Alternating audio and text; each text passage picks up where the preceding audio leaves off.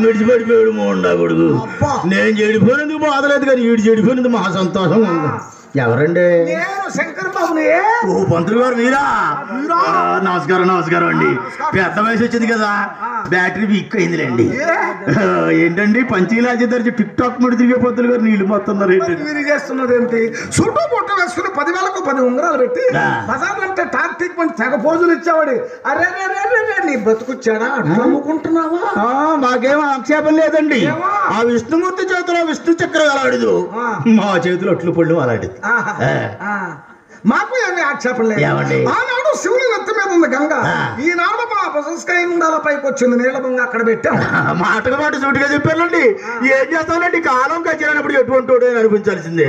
ఆనాడు మహావిష్ణువు ఎత్తాడు దశ అంటే పన్నెండు అవుతారా ఏమండి? దశ అంటే పది అవతారాలు పన్నెండు అవతారాలు. దశ అంటే పదా. మరి మేము చదువుకున్న రోజుల్లో దశ అంటే పన్నెండు అని చెప్పాడండి మాస్టర్. బహుశా రికమెండేషన్ మీద ఉద్యోగం వచ్చి ఉంటది. పోలండి ఏదో కష్టపడి పది ఎత్తాడుగా పంతులు గారు. పది ఎత్తుడు రెండు ఎత్తడు ఏంటండి? భగవంతుడు అంటే కళ్ళు పోతాయా పంతులు గారు ఆ. రోజుల్లో మనం ఎలా ఉండేవాళ్ళం? రామ లక్ష్మణులాగా ఉండేవాళ్ళం. ఇప్పుడు రావు కేతులాగా ఉన్నాం. బజారుగా పెట్టిన తల తల తల ఆడుతూ ఉండేవాళ్ళం. ఉమ్, ఇప్పుడు బర్రెగ పట్టిన జోరిగల్లాగా ఉన్నాం నా మీదకి వచ్చి బెటర్ వెళ్ళండి రూపాయలు పోయినా రూపం చెల్లలేదు మీకు మాకు రూపాయలు పోయి రూపం చెడిపోయింది స్టాండింగ్ పోయి బెండింగ్ వచ్చేసింది చింతామణి గారి సర్టిఫికెట్ మీకు కూడా వచ్చి ఉండాలి? ఒకే యుద్ధంలో దెబ్బతిన్న సైనికులు కదా మాకేం పై పైన కనపడుతుంది మీకేం లోపల లోపల ఎక్కడో ఆడపిల్ల ఏడిపిన పడుతుందండి ఎవరా సందులో సుందరి దీని అవతారం మారిపోయింది అయిపోయింది ఇది కూడా అయిపోయింది. అయ్యో చిత్ర అట్ట నొక్కి నొక్కి తొక్కలాడని పోతాయి చిత్రడు చిత్ర. ఎందుకులేమ్మ దండాలు? ఆ దండాలు తెచ్చిపెట్టి మాకు ఈ గండాలు పంతులు గారు దండాలండి బావగారు అంటే అర్థం తెలుసండి ఊరు వ్యధవాళ్ళారా? మీరు ఇంకా బతికే ఉన్నారని అమ్మ బాబోయ్. ఆ, ఈ లెక్క ప్రకారం ఈ పడికి పైకి పోవాలని మనం. జీవితం మీద వచ్చి ఒక నీళ్ళు మోసుకొని మీరు అట్లా అమ్ముకొని నేను ఇలా ఉన్నాం. ఏంటి ఎడుతున్నావు ఏంటి బావగారు. మరే మాకున్న డబ్బంతా పోయి మా అమ్మకి పిచ్చబట్టిందండి.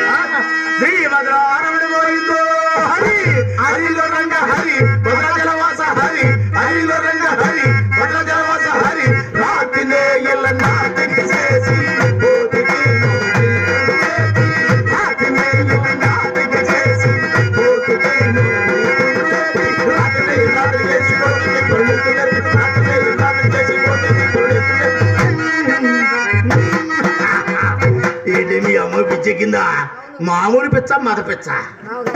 పిచ్చలో రెండు రకాలు ఉంటాయా? రెండు రకాలు ఉన్నాయి. మామూలు పిచ్చలకు మంచాన పడుతుంది మత పిచ్చలకు మనుషుల మీద పడుతుంది బావగారుకు మా మా అమ్మకి రెండో పిచ్చ పట్టిందండి. మనుషులు కడుతుందా? అయినా ముండకు ఇంకో రకమైన పిచ్చి ఎందుకు పడుతుంది ఎప్పుడు మనుషులు కరవడమే ఇంతకుముందు లవ్ ఎక్కువ పెరిచేది ఇప్పుడు పిచ్చి ఎక్కువ పెడుతుంది మరి హాస్పిటల్ చూపించబోయారా? చూపించాం బావగారు. తగ్గదన్నారు. తగ్గదన్నారా? మామూలుగా వచ్చిన జబ్బులు అయితే తగ్గుతాయి. పాపానికి వచ్చిన జబ్బులు తగ్గవు. పంతులు గారు ఆ. మొండకి నా ఊసిరే తగిలిందండి. ఏ? నన్ను పట్టుకుని అదే అంతండి మొండ. అరే మరేనా అరే సంబరపడిపోతున్నాడు. ఈయన కూడా ఏదో ఉంటది. కొట్టింది చెప్పు దెబ్బలు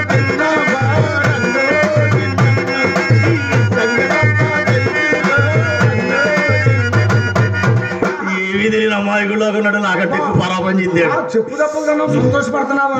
మరి నీ ముఖాన్ని కాంట్రించి ముఖం మీద చూసిందంటే పంతులు గారు ఒకళ్ళు ఒకళ్ళు తిప్పుకోవడం అంత పద్ధతిగా ఉండదు కానీ ఇక్కడ ఎక్కడ కొండపోలూరు ఇక్కడ మంచి హాస్పిటల్ ఉంది వాళ్ళ అమ్మగారిని పశువుల హాస్పిటల్. పశువుల హాస్పిటల్. చూపిస్తాం మా అమ్మ మనిషే మనుషులు పొడిచే సూది రాను మీ అమ్మకి. అక్కడైతే ఇంత పొడుగు ఇంతలా ఉంటాయి వాడు పెట్టి పొడుగు ట్రీట్మెంట్ ఇంజక్షన్ ఇంజక్షన్. మీ అక్క మీ అక్క నన్ను అడుగుతుందా? మా అక్క బావగారండి. మా అక్కకి కళలో. నేను కనబడి ఉంటా. చిచ్చి. నువ్వెందుకు కనపడతావు? అంటే పరిచయాలు అటువంటి. నువ్వు కనపడలేదు బావ. ఎవరు కనిపించారంటే సాక్షాత్తు శ్రీకృష్ణ భగవానుడు? ఈ డిపార్ట్మెంట్ అయింది. దేవుడు అంతు లేని భక్తి అన్నా ఉండాలి అది బాధలన్నా ఉండాలి. భక్తి అంటే వాళ్ళకి ఎటు లేదు. బాధలు అంటే మనకు మించి ఎవరుకున్నా చెప్పండి. పొద్దున్న లేచిన కానీ పొద్దు కూకే వరకు భుజాన పుళ్ళు పడితే నీళ్ళు మొత్తున్నారు మీరు.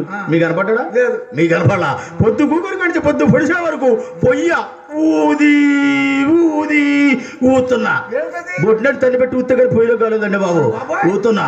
నాకు కనపడక మీకు కనపడక అడ్డమైన పనులు చేసి లెక్క కట్ట కనపడండి ఆయన మేము రోజు గుడికి వెళ్ళి పుణ్యం చేసుకుంటామండి. వీళ్ళైతే రోజుకి ఐదు ఆరు సార్లు చేసుకుంటారు. ఏమైనా సందేశం ఏమైనా ఇచ్చేయండి ఆ ఏంటో ఆ కృష్ణుడు ఏదో అన్నావు ఏంటది? ఆ, మంత్రి గారు. ఆ కృష్ణుడు. శ్రీ శ్రీకృష్ణ వారు ఫోటో మా ఇంట్లో ఉందండి? ఆస్తి అంతా పాడు చేసిన ఫోటో మొత్తం పాడు చేయలేదు. ఆ. ఇది ఇలా పట్టుకోవే. శ్రీకృష్ణ వారు ఆ, చీరలన్నీ తీసుకొని చెట్టు మీద ఉన్నాడండి. ఆ. ఆ చీరలైన ఆడవాళ్ళు కొంతమంది చీరల కోసం ఇలా ఉన్నారు. ఆ, కొంతమంది ఇలా ఉన్నారు. ఆ. కొంతమంది ఇలా ఆయన భగవంతుడు కాబట్టి ఈ ఎంతమంది ఆడవాళ్ళు చీరలు లేకుండా చెల్లించలేదండి. అదే మనం అయితే కర్రని చీరలతో కంగారు పడి చచ్చిపోతాం. ఆ. అక్కడ సాటుగా సంక్రమించాడు ఇక్కడ సీక్రెట్ సప్లై అక్కడ ద్రౌపది వస్త్రాలు. ఆయన కూడా ఇటువంటి వీళ్ళు సాని వృత్తి మాని సారా కొట్టెట్టుకోమన్నారా? సారా మహిళా మండలి ముగించేశారు సారా ఉండగా ఎంత ముసలోడు రాత్రిపూట ఒకటి రెండు సార్లు మంచం పట్టుకొని పైకి లేచేవాడు. ఇప్పుడు చీపు చీపు ఎక్కడ తాగుతున్నాడు? సందగాడు పట్టుకున్నాడు ఎగుతున్నాడు ఆడికి మెరుగు రాదు. మీకు నిద్ర పడదు సన్యాసం పుచ్చుకోమని చెప్పారు. సన్యాసం పుచ్చుకుందా మరి? ఆయన స్వప్రయోజనం కోసం ఏదో చెప్పాడు అనుకో మీ ఎక్కకైనా బుద్ధి ఉండకల్లా? ఎటువంటి బిజినెస్ మీ బిజినెస్ మంత్రి గారి బిజినెస్ అండి. పెట్టుబడి లేదు కొట్టు చీకుడు లేదు ఇన్కమ్ ట్యాక్స్ లేదు. ఇక్కడ ఎక్కడైనా సెంటర్లో కొట్టు తీసుకొని రేపు పొద్దున ఓపెనింగ్ చేద్దామని షట్టర్ తీసి తీసి ముందే నోటీస్ అంటారండి ఇన్కమ్ ట్యాక్స్ వాళ్ళు మనకైతే. అదే వీళ్ళకైతే ఈ ఎకరాల మీద ఎకరాలు కొన్న అంతస్తుల మీద అంతస్తులు కట్టిన ఈ డబ్బు ఎక్కడి నుంచి వచ్చిందని అడిగే ఓడే లేడండి. ఆ, వాళ్ళకి పోయివే ఆదివారాల సెలవు లేదు. దేశం అంతా సెలవు అయితే లేదని చెప్పి. అంతా ఆఫీసులు కొట్లన్నీ సెలవేనండి ప్యాసింజర్ సగం మంది అని ఇక్కడికి వచ్చేస్తారండి. మంబు లేదు. చీకట్లోనే చంద్రుడు తేడా జరిగిన పోద్దని. అటువంటి బిజినెస్ అనుకొని ఈ భజన చేసే బిజినెస్ ఎందుకే మీ అక్కకి? అయినా సన్నాసుడి దగ్గర ఏముంటదండి? కొబ్బరి పీసు పట్టం కొబ్బరి పీసు చర్మం కర్ర. పండు విసన కర్ర.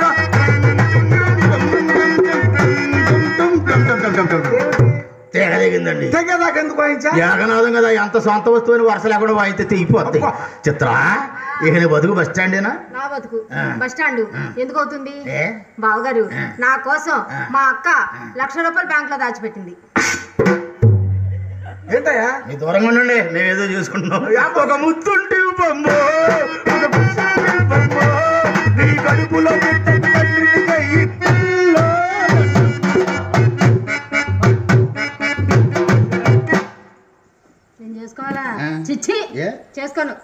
ఈ బుర్ర పట్ట ఆ బంగి మీసాలు ఆ తొరు పన్ను. చేసుకో చేసుకోక నిన్నే చేసుకోవాలి అంతేనా? వయసు పెరిగిందని ఆలోచిస్తున్నావు. వయసు పెరిగిన రైస్ ఉంది నాకు. పులుపు చావలేదు ఇంకా? మీరేమైనా ప్రయత్నం చేస్తారా. అసలు వచ్చిన విషయం చెప్పు. బావగారు నేను ఎందుకు వచ్చానంటే మా అక్క మీ ఇద్దరికి కలిపి ఒక మాట చెప్పి రమ్మని నేను దండు పంపించిందండి. ఏంటి? ఏమిటంటే వేసే సంపర్కం వలన మీరు పొందిన అనుభవాలు కష్ట నష్టములు మీరు పోగొట్టుకున్న డబ్బంతా మీకు తిరిగి రావాలంటే ఆరు మాసాలు ఊరూరు తిరిగి ప్రచారం చేస్తే మీ డబ్బు కాస్త తిరిగి వస్తుందని చెప్పి రమ్మని పంపించింది మా అక్క. నన్ను ఇక్కడికి దేశ ప్రచారమా దేశ ప్రచారం అండి.